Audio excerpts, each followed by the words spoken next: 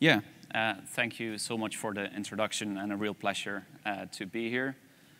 Um, that works. So my background, indeed, I have a PhD in energy engineering from University College Cork, uh, which is a university in Ireland. And over there, there's a little hub of PLEXOS modelers who do all kinds of academic uh, related research um, in extensive collaboration with uh, Energy Exemplar, so both the London office, but also um, all around in general. Um, and last year uh, and early this year, I transitioned to, transitioned to uh, Dartmouth College at the Sustainable Transitions Lab. Um, besides the research we do with, with PLEXOS, uh, we do all kinds of research related to energy policy, um, re related to gas grids, but also CO2 capture, um, carbon capture and storage, and more as well. But my uh, specific research during my PhD uh, that started in 2017 uh, related to PLEXOS World. PLEXOS World is a uh, global power system model we've developed. Um, there are different versions, versions of PLEXOS World. Can be for a current day uh, energy system, but also for future decarbonization studies. Um,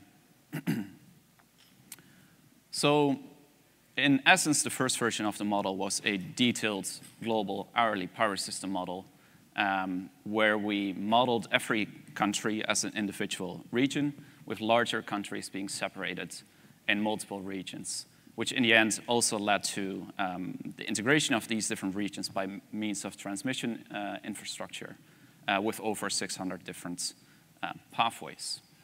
So this is the, um, the overall uh, general spatial representation of our, our model that we build in PLEXOS. Uh, again, where you can see that larger countries like the US, but also Canada, Brazil, China, and others are separated into um, multiple regions, either based on current electricity markets, operators, um, or based on more geographical um, separation based on states or provinces, etc.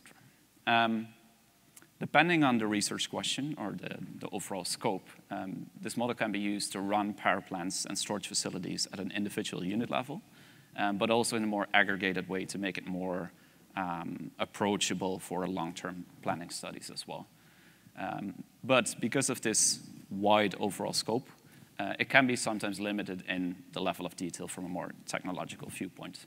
For example, we don't um, model any local AC grids, and we don't do any load flow modeling either with the global model. Um, we model power plants, uh, mostly larger power plants above uh, a megawatt, um, so also larger wind and solar uh, facilities, um, with other missing capacity more modeled in an aggregated uh, way as well. Uh, we use this model to do all kinds of case studies for the full global energy system, but we also use it more often than not for a specific region, for specific um, policy questions as well.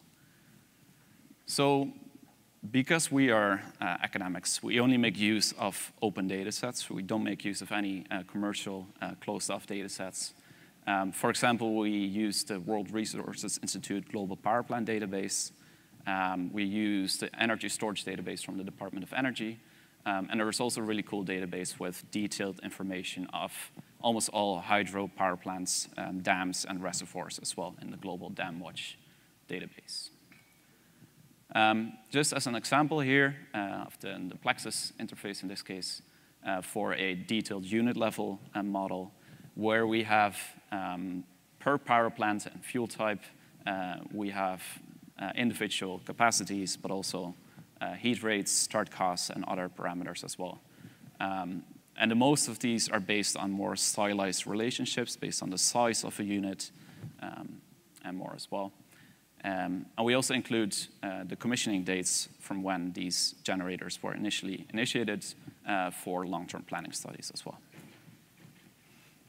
So just as an example, this is um, animation output from uh, our 2015 model. We are also working on a 2020 model, but that is um, still pending. Um, just to show, uh, as an example, over here, where there's still uh, clearly a lot of coal dominance by means of the black bars um, in parts of Asia, China, India, Um, and even though in the 2020 model and 2022 model, these values might be different, it's still a clear um, dependence on uh, fossil fuel generation. Likewise, um, what we see here is the emission intensity of electricity generation for different regions around the world. Um, and we use data like this and animations like this to really pinpoint where some of the low-hanging fruits are when it comes to global decarbonization efforts um, overall. So here um, in Europe, for example, you see in the Netherlands, where I'm from, but also Poland, uh, still uh, heavily uh, coal intensity in, in generation. Um, and again, big chunks of uh, Asia as well. Where we see in China here is a lot of emission-intense generation around the coasts and more wind and hydro-based generation in other uh, provinces as well. All of what I've mentioned and shown so far was based on models for current day uh, energy systems. But within academia in general, we're more interested in you know, how we can leverage models like this for different kind of studies um, when it comes to uh, climate change mitigation and overall energy system transition as well. Um, and one of the large projects that we're working on is the assessment of so-called net zero uh, scenarios. Um, for example, based on scenarios from uh, the IPCC assessment reports. These are reports that are being published about every two years uh, with the latest um, information when it comes to different emission trajectories that we have based on current day policies, but also what kind of emission trajectories we'd need for a two degree um, scenario or 1.5 degree scenario and more. Um, and within these reports as well, um, there are modeling teams that perform um, the different kind of mitigation scenarios uh, to reach these set targets. Um, and most of these um, modeling efforts uh, and scenarios are being developed with so-called uh, integrated assessment models. And integrated assessment models, uh, again, are used for the long-term planning of uh, global energy and emission pathways. Um, but because of this long-term focus, um, and also because they have a very broad sectoral focus, these models, they do not only model um, the long-term evolution of the energy system, but they do this in conjunction with impacts of the wider climate system, uh, land use implications, water implications, um, also feedbacks to the wider economic system and how that affects costs of different components of energy. Um, it means that they can be very limited in their way that they model different spatial and temporal aspects. For example, from a spatial viewpoint, here on the left, um, have here the integrated assessment model MESSAGE-GLOBIOM, which is one of the most commonly used global integrated assessment models. They uh, separate their model in 11 regions, with every region having uh, aggregated capacities, um, aggregated demand, um, unrestricted trade of commodities within these regions. Uh, so this is significantly limited, especially when it comes to the integration of wind and solar, which we all know is very time and uh, space dependent. So then we have the model that we developed, PLEXOS World, uh, which in context of this project, we use for more snapshot analysis um, of different global power system dynamics based on the scenarios of these integrated assessment models. So we use scenario data from their models, feed it into PLEXOS, run it for a given year based on hourly, uh, hourly optimization, uh, and assess its overall robustness, also from an adequacy perspective and more. Um, but because of this uh, higher spatial and temporal detail that we have in PLEXOS World, it means that we limit um, the overall sectoral representation. So we look at the electricity system with some impacts on, um, for example, hydrogen production and hydrogen demand in other sectors as well, but that's about it. Um, but because of that, again, we're able to um, provide more detailed insights from a time and a spatial point of view. Models like this are complementary uh, and they can be connected with each other. And this is something that we've been doing over the last few years by creating a overall methodology and workflow uh, to be able to do this. Um, when it comes to the data side of things, because of these different focuses and different um, spatial representations as well, it means that there's a lot of uh, data flow between the models that also needs to be converted and aggregated um, because of the different model types. Again, from a spatial side of view, um, but also from a temporal point of view, where, again, the integrated assessment models, long horizon, and in context of this study with PLEXOS World, we only look at um, one specific year, for example, 2050 or 2030, and assess its overall robustness.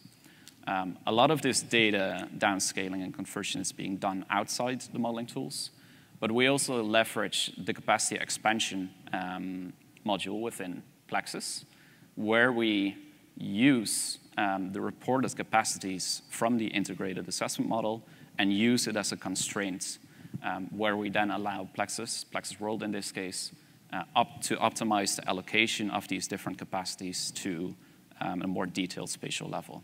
So what you can see here in red is a reported capacities in 2050, which is about uh, 2.7 million megawatt or 2,700 gigawatts for the South Asia region.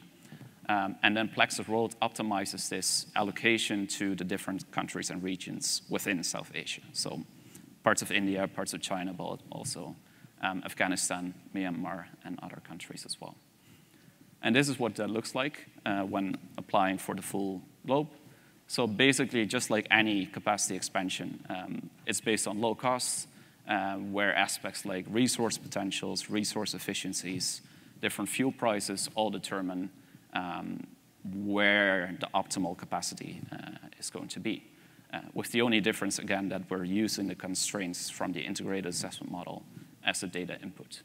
For example, here around um, in China, we can see that a lot of the wind-based generation is being um, allocated, integrated in the outer provinces because of higher efficiencies, because there's more space um, and more base load and solar-based generation in the, the coastal provinces where the majority of the demand is as well. Now, um, a second, um, so that was based on the planning side of things, but based on the hourly optimization, um, one thing that we've communicated towards these integrated assessment modeling teams is that the way they model electricity trade between regions, but also within regions, is highly simplified. For example, they assume that within a single region like North America, that there are no constraints on trade.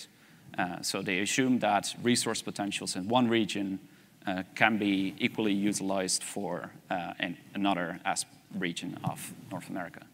Whereas we show um, with a model like this that because of transmission constraints, um, because of different time zones, because of different temporal aspects, this is highly simplified.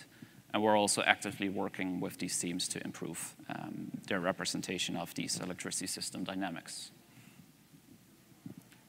So ongoing work, right now we're, um, we're in a large project working with the nine different global uh, integrated assessment modeling teams um, that did the work for the latest IPCC reports to provide more detailed insights in um, these electricity system aspects for their specific scenarios and models. Um, and as you can see here on the left, this graph represents the relative share of electricity over time in overall final energy demand. All of these integrated assessment models project that electricity will get a significantly higher role um, into the future compared to current days.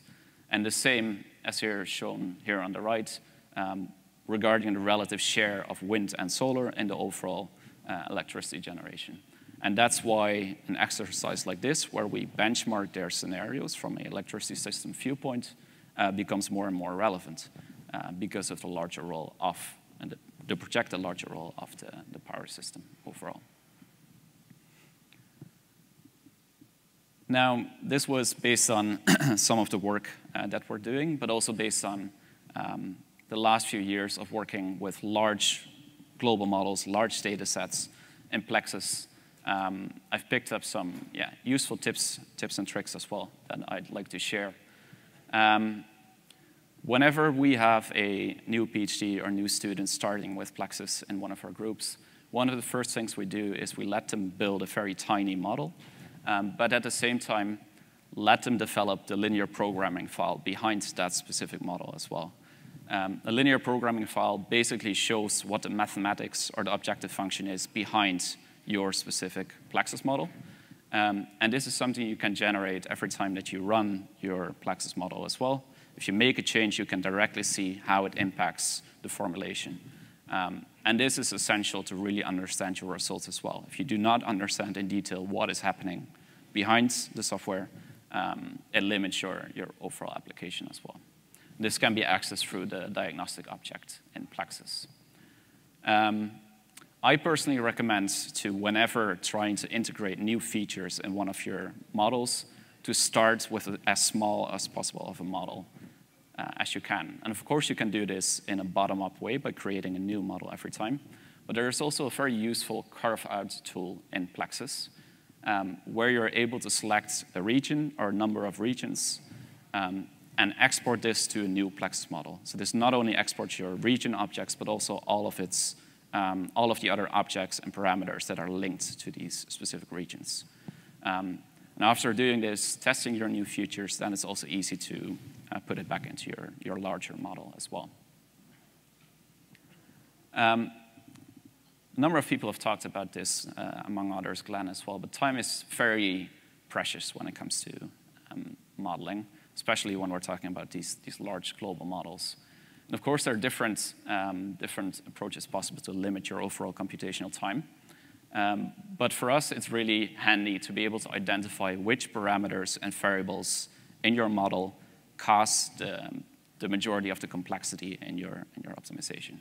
So there's a, um, a task component um, parameter, also in the diagnostic object, that highlights uh, the non-zeros of the different parameters that you're using.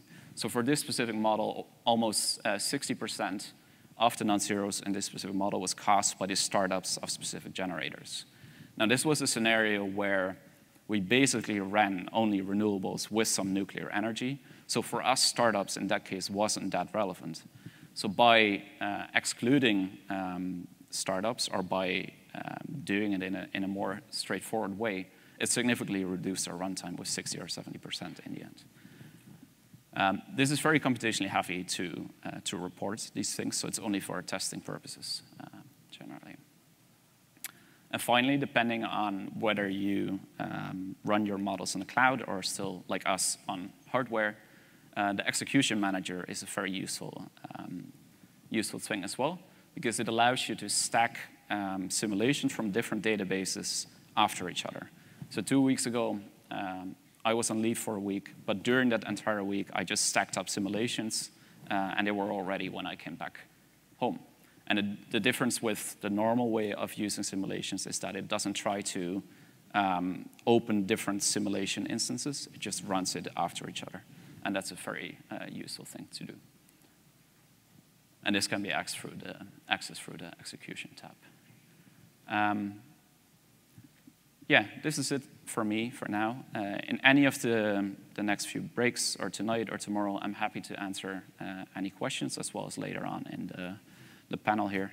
Um, and also looking forward to talk about any collaboration opportunities or anything like that as well. Thank you.